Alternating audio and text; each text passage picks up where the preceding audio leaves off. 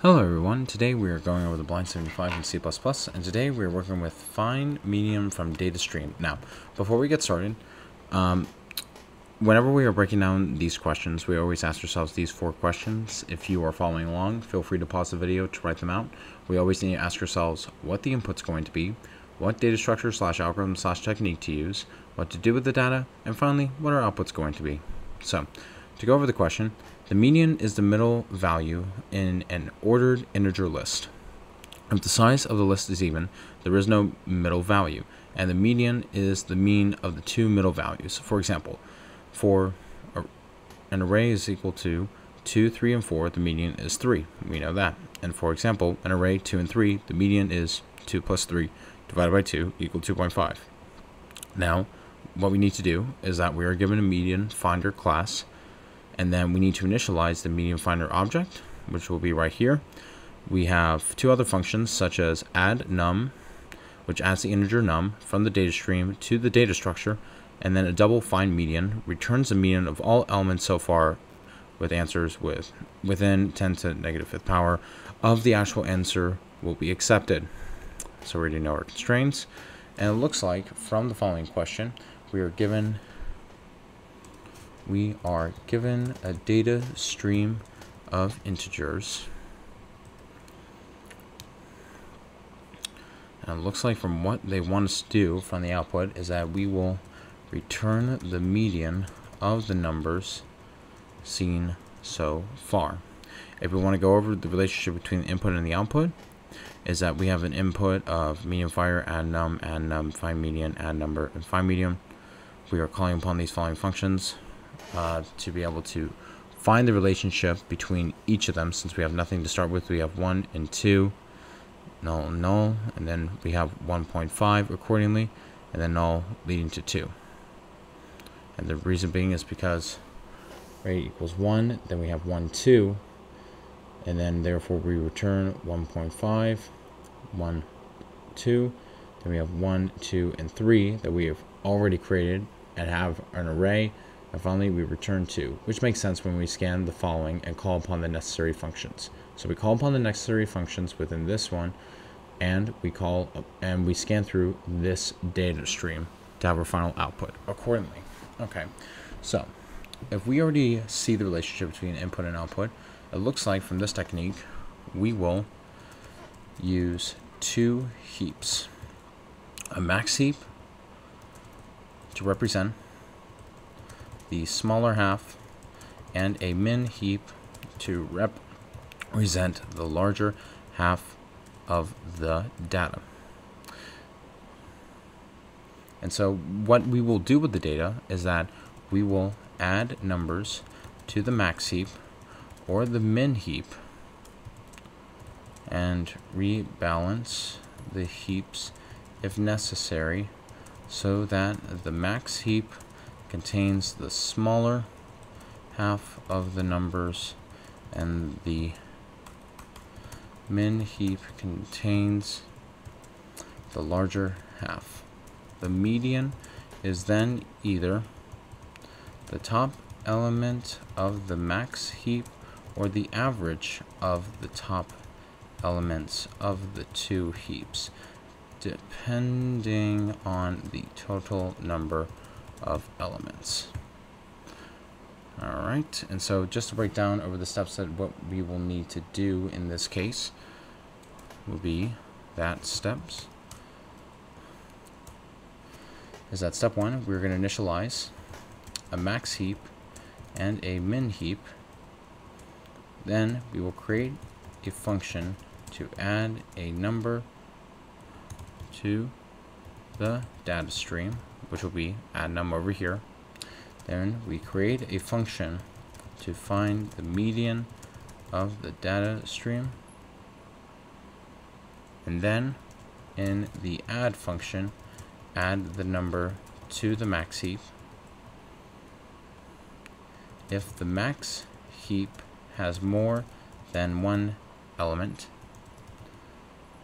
then the min heap we're going to move the top element of the max heap to the min heap. And if the top element of the max heap is greater than the top element of the min heap, we're going to swap the top elements of the two heaps. And then for the find median function,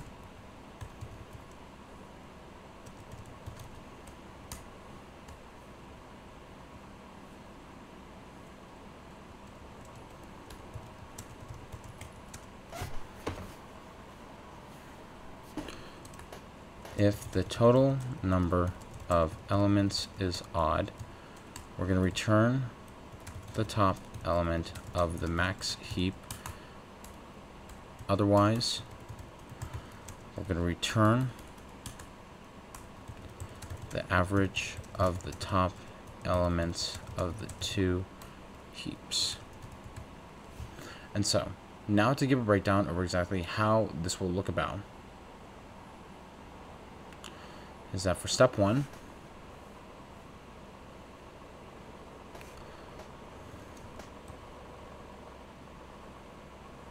looks like we've already done so.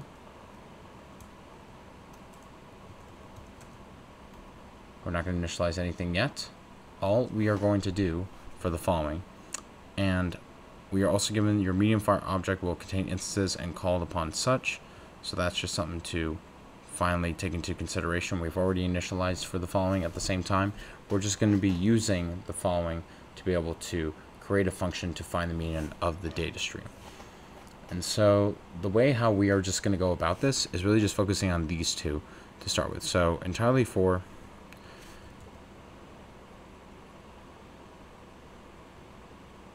So this will be 2 slash 4 accordingly. And then this will be step 3 slash 5. Just breaking it down step by step. And so for step 4, I'm telling you what we are going to do is that we're going to do this part.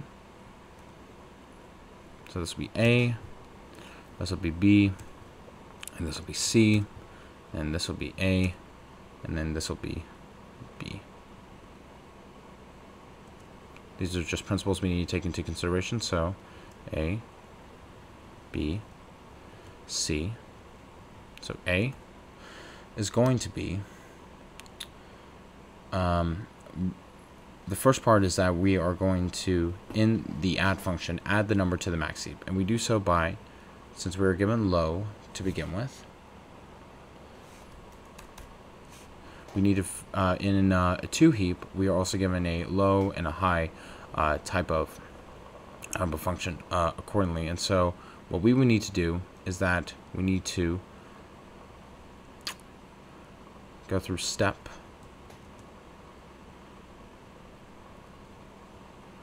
one.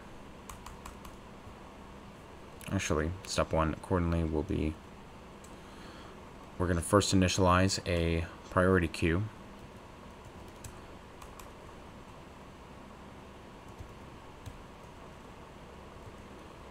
This is how we do this. int low. It's going to be our max heap. And we're going to call upon this upon the rest of our function. So step one accordingly. And then we will have uh, a max our min heap. So we have priority queue of int vector of another int as well. Then we will check if greater int for high. Alright, that's how we do it. And then we're going to call upon these priority queues accordingly since for heaps in general, queues are the data structure to use. So I will also put the comments in the, I'll put all these comments in the comment section as well.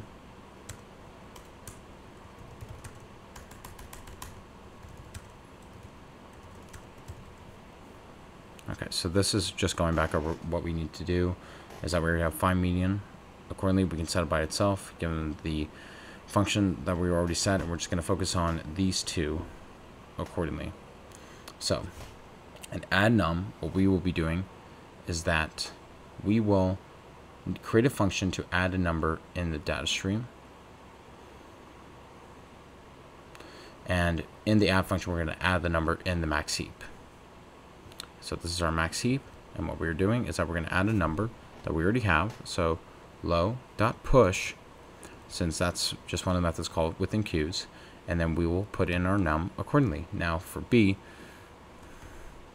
if the max heap has more than one element, then the min heap, we're going to move the top element of the max heap to the min heap. So we do this by calling upon our min heap for push, and then we'll have our low, top, accordingly, and then we're going to pop the max heap. And if the top element of the max heap is greater than the top element of the min heap, we're going to swap the elements of the two heaps. And this will be C if low size is less than high size, we will swap low, push, high, top. That's how we do this with priority queues. Then high, pop. Mm -hmm. That's how we do that. Then moving over to step three. For step three, we need to find the median function. So find median function. We're focusing on this part, and we're just focusing on entirely in step five. And in step five, we're given if the total number of elements is odd, we're going to return the top element of the max heap. Otherwise, we'll return the average of the top elements of the two heaps. And we can just do this entirely in one line by just using uh, the colon, really. It's useful for um, Boolean conditions. And since we were dividing up by 2, so what we will do is that we're just going to have a return. And we're just going to call upon our max heap and call upon our condition. If the total number of elements is odd, return the top element of the max heap.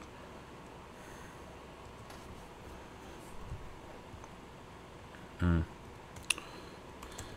And mm, useful for that. So we have low size greater than of high size, which will be the min heap.